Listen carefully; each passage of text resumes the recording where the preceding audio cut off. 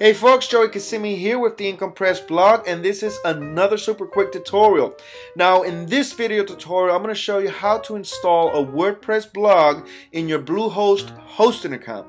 Now I really wanted to make this video here particularly because Bluehost has a totally different way to install WordPress than what you may be used to with places like or companies like HostGator, JustHost or any of those uh, places like that. Because those hosting companies they use this tool called, or a simple script called Fantastico, and Bluehost doesn't have that. They actually have a simple script that's actually called WordPress. So I'm going to show you how to do that real quick. It only takes like a minute or two to do it. And actually, I really like the way Bluehost uh, does it. It's really fast and easy to do. So right here, I'm in the in my cPanel account, in the back office of my Bluehost account. And yours may look different and maybe in different orders. I just like to arrange mine in what I use most, most which is files, mail, uh, software, domains, and database and stuff like that, right? So what you want to look for is the one that says software and services, okay? So you go in there, just open that tab up, and you look for WordPress. This is the one you want here. Just go ahead and click on that.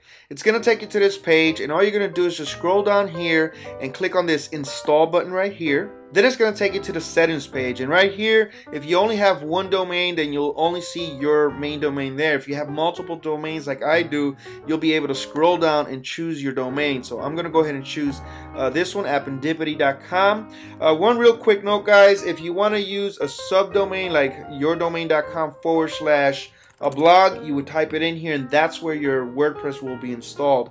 I like to go ahead and install it on the main domain. So I'm to go ahead and do that. Right here on step two, guys, very important. You're going to want to do this. So just click here to display. Right here, name your blog. Um, I'm going to call mine Appendip, Appendipity. Right down here, your admin, you'll, you're going to want to choose your own username and password. You don't want to just leave it as admin. Okay, one, two, three. I'm gonna go right here, Joe Kissimmee, and testing one, two, three, four. Obviously, guys, that's just a test password.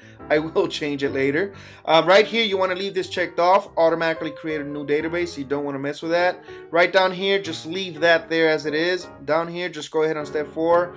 Uh, agree to the terms and conditions.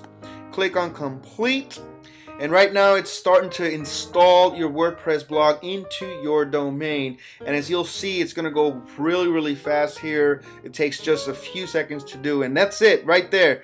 As you can see, it took about what, like 10 seconds, I think it took to install the whole thing.